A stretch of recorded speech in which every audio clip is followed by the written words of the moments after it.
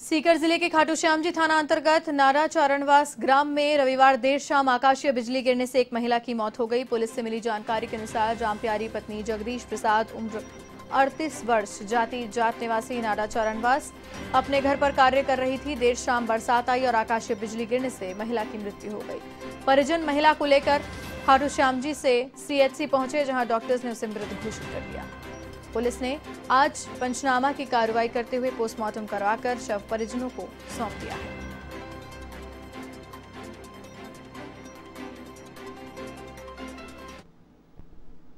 परिजनों द्वारा सूचना दी थी थाने पर कि एक महिला आकाशीय बिजली गिरने से फोत हो गई, जो सीएचसी खाटू श्याम जी के मोर्चरी रूम में है। तो आज उनका परिजनों के समक्ष पोस्टमार्टम करा सुपुर्द की गई महिला का नाम है राम प्यारी वाइफ ऑफ़ जगदीश प्रसाद जाति जाट निवासी नाडा चारणवास। और इसी खबर पर अधिक जानकारी के लिए एवं संवाददाता विकास सोनी फ़ोन लाइन पर हमारे साथ मौजूद हैं। जी विकास विस्तार से जानकारी दें।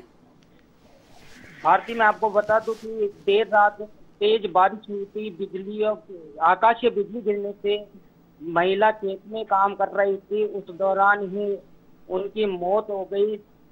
अचानक आकाशीय बिजली गिरने से जब उनको खाटू श्याम जी सीएससी लेकर आया गया तो यहाँ पर चिकित्सकों ने मृत घोषित कर दिया। इसके बाद पुलिस ने पंचनामा कराकर, पोस्टमार्टम कराकर सब परिजनों को सौंप दिया। जी, विकास तमाम जानकारी के लिए आपका बहुत बहुत धन्यवाद।